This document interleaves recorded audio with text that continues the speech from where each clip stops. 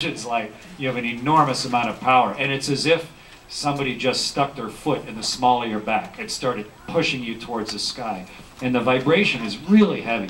The, by the time we clear the launch tower, we're going 100 miles an hour straight up, and in 45 seconds we go through the speed of sound, straight up, accelerating, and we're burning fuel at 12 tons a second at liftoff. Amazing amount of power. Uh, and uh, in about uh, 70 seconds, we're higher and faster than the Concorde ever went. We're uh, 60,000 feet and two times the speed of sound in 70 seconds. And the vehicle shakes like crazy because it's all these pieces bolted together, and you're still pushing through the atmosphere. If you want to focus on the instruments, you have to like grab something and pull yourself against the acceleration, which is up to three times your body weight. So your head, if it weighs a dozen pounds, your head weighs 36 pounds all of a sudden.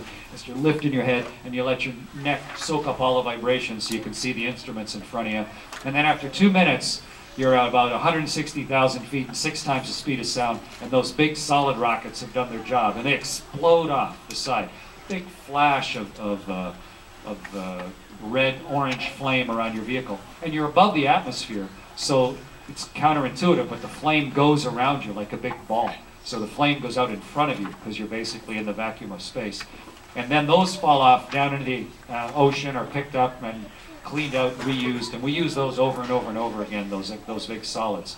And now it's just you, the shuttle, and the liquid tank with your foot to the floor. And as you burn off fuel, it starts accelerating faster and faster, so it gets heavier and heavier on you, and it goes from one and a half to two to two and a half to three G until you, you know, if you weigh, if you're a 200 pounder, you weigh 600 pounds squished into your chair, and it's just a heavy, long weight, as if some 600 pound person is laying on you, slapping you in the face for, for another six minutes and 42 seconds until right at the very end we hold 3G and the throttles actually come back because the shuttle can't take more than about 3.5 G. So we actually throttle it to 3G.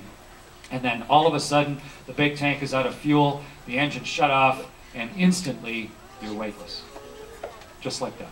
And you're weightless in space.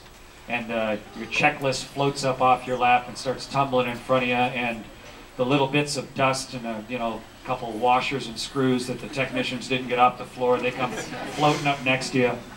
And everybody laughs on board because it's, it's a little bit of like nervous relief, but it's also, it's just so funny to be weightless.